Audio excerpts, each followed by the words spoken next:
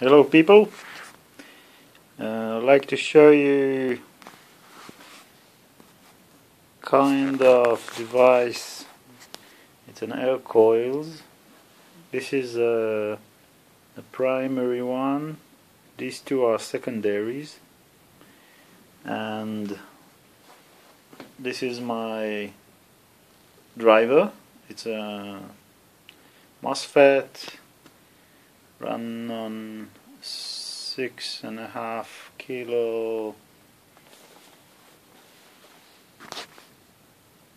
And this is my coil it's a car coil and it's driving this primary. This primary is quarter of the length and the weight of this one and this one. These two, these three are 41 uh, microhenries, as you can see.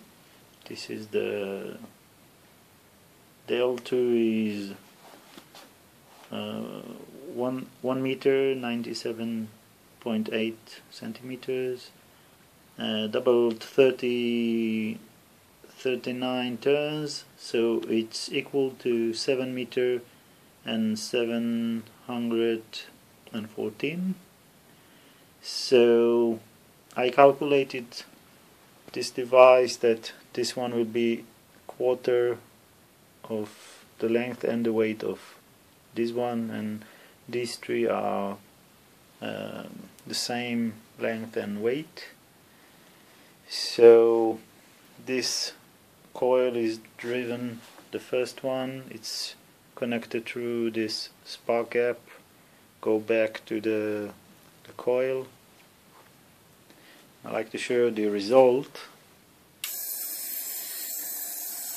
This is after tuning. As you can see the three the three neon bulbs are brightening quite the same if I change the frequency you can see it's changing. So for now it's this is no spark it's too fast. So we are quite tuned this device uh, uh, Don Smith show this device. He produced this device. He he built it, but there is not not a lot of uh, knowledge on the web. So I just start to build this one and see how it goes. And the the idea is that each of the secondary coils will be in resonance with the primary one, like with the first one, and then it will produce power. So, because it's radio frequency, it uh, you can add more and more coils here in circles around it, and it will not influence the first one. So, I don't know yet how to connect this one. I guess I need to build some step down because it's it's quite high voltage here I guess. Uh, this packet uh, breaks at about 5 kilovolts and it's step up. So we have kind of 20 kilovolts 25 kilovolts.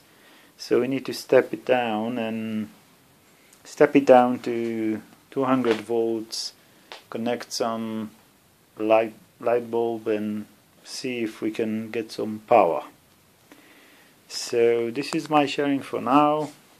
Thank you